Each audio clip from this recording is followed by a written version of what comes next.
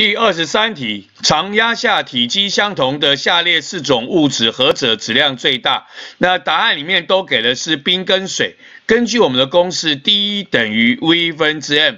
如果我们的体积要一样的话，密度比较大的呢，质量就会比较大。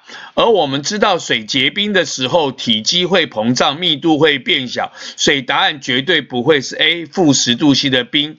接下来都是水。而我们背过，水在四度 C 的时候，体积最小，密度最大。水四度 C 的密度是最大的，水相同体积的情况之下，质量会比较大。因此，二十三题问我们说，常压下体积相同的下列四种物质，何者质量最大？我们答案选的是 B，四度 C 的水。